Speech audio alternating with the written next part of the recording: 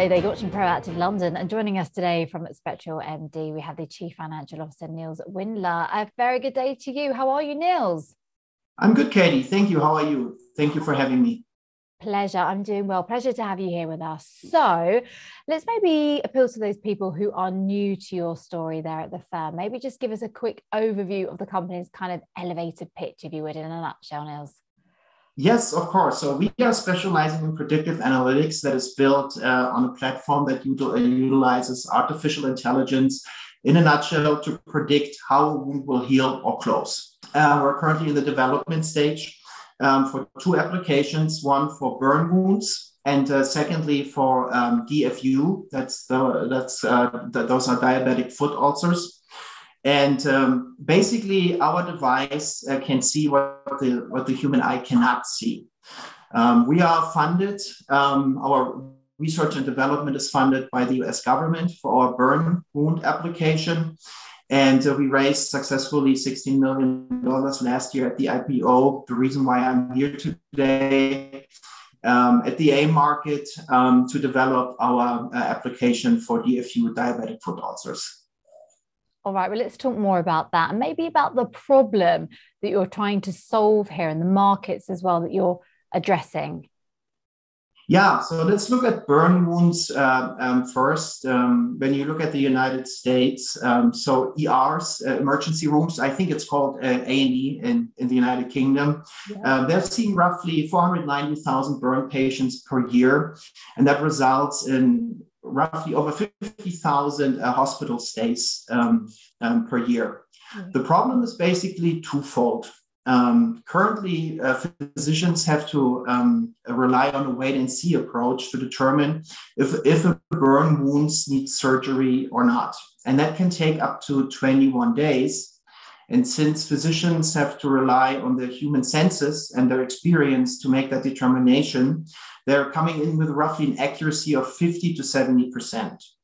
Um, so this all has an obvious impact on the healthcare, uh, healthcare system uh, from a cost perspective.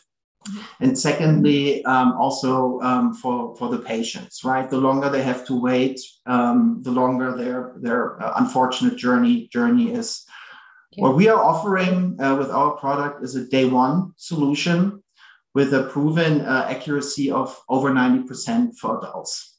Um, similar for diabetic foot ulcers, um, currently in the United States, uh, due to reimbursement rules, uh, physicians have to wait 30 days um, to make an assessment if, uh, if a wound is healing or closing or not. Um, again, we have a day one solution for this problem with an accuracy currently over 80%. All right. Well, let's talk about that further in terms of, of speed. I think that that's crucial in all of this as well, and kind of how yes. DeepView is faster at burn wound healing diagnostics in terms of one day solution, which you've mentioned yourself, and how you're reducing it for the Department of Defense for kind of handheld in military far field use as well. Yes, no, absolutely. Yeah, so up to 20 times faster. Uh, I, I, just talked about um, for, for burn wounds, mm-hmm. um, how physicians, um, on average, up to 21 days. Mm-hmm. Uh, it, it, takes them to, to make that determination. Um, we're on day one, so that is 21, 20, up to 20 times, uh, 20, um, 21 times faster. And um, yeah, thank you for, for bringing up uh, the um, Department of Defense contract. Mm-hmm. So uh, we um, got uh, awarded a contract from the US Department of Defense last year to develop basically a handheld version of our device. It's currently a cart based version that you have to roll and maneuver. So now, obviously, for the military, that is not a feasible solution. Um, um, you know, uh, we, we all see the very, very unfortunate events happening in Europe right now on the TV screen every day. Um, obviously, the military is very, very interested in a handheld solution that they can carry in the field to make an immediate determination um, what needs to be done with a with a wounded soldier. And then, secondly, um, looking forward, um, um, a, minute, a, handheld version um, also allow potentially will also uh, allow home use. Just think about uh, small children running around in the house, get burned. You know the, what that happens every day.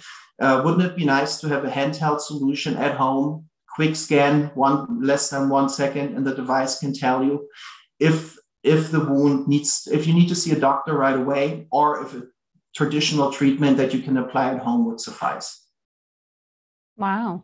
All right. Well, let's maybe kind of turn our attentions to today's results, shall we now? Because it looks like you're kind of meeting all of your key milestones here um, since joining AIM in uh, last year, in June last year, wasn't it? Maybe can you talk us through kind of the key operational highlights, that the financial takeaways, and kind of post period end highlights as well, if you would, please. What do we need to know here, Nils? Yeah, I mean, uh, lots, lots of things. So I'll try to keep it short and simple. So first of all, when we look at our burn application, uh, we completed the expanded proof of concept study with uh, 150 subjects uh, in the United States. We presented successfully those results at the Southern Region Burn Conference um, with 92% accuracy for adults, 88% for children. Um, we got awarded two new uh, government contracts uh, for the development of our um, um, burn application. Those have a value of $40 million, which brings, uh, including those two now, the government funding that uh, Spectral MD was awarded to over 100 million. And uh, yeah, from perspective, last but not least, uh, our training study um, is well underway with 250 subjects at over um, 10 sites uh, here, clinical sites in the United States. Um, diabetic foot ulcer development, um, like I said earlier, we successfully raised uh, the 60 million um, dollars at the at the AIM market. We completed our training study in the United States with 150 subjects.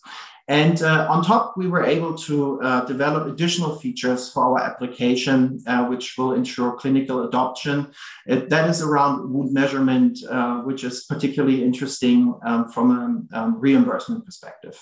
Mm-hmm. And lastly, to summarize here, why should investors, why should they buy Spectral MD stock today? What's the kind of the summary and the outlook for you then?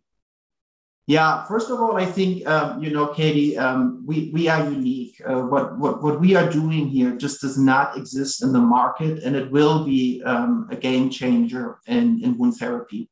I often get asked the question, Nils, who are your competitors? I, frankly, I don't have a really good answer because I'm really hard pressed to find a competitor because I believe we we don't have one. Um, secondly, we are very confident that our efforts around our uh, burn application will eventually lead uh, to a federal government procurement uh, contract, uh, which will be would be a great, great success. Uh, plus, we are planning um, not only to sell our um, burn product in the United States, we're also um, making great strides um, to be able to sell our products in the European Union as well as in the United Kingdom. Um, looking at diabetes, I mean, we all know that diabetes is uh, one of the biggest problems in the developed world. It's a gigantic market, um, unfortunately. Mm-hmm. And uh, we offer a solution when it comes to diabetic foot ulcers. Um, we're tirelessly working um, on getting ready to commercialize our product in the United States, in the United Kingdom, and the EU. And um, secondly, then thirdly, you can ask like, okay, Nils, that's great. You you have this great platform. You have two applications. So what's next, right? So when you think about um, about wound therapy, you know the different stages of a wound therapy. Um, we're currently playing in diagnosis um, for DFU and burns. There are many other wound types out there that need a, um, similar assessment, venous leg ulcers come to mind. And then, secondly, um, again, looking at the therapy as it progresses. Um, right now, we're in diagnosis. Why not applying our technology on screening, prevention, uh, assisting the physician in making the right treatment decision?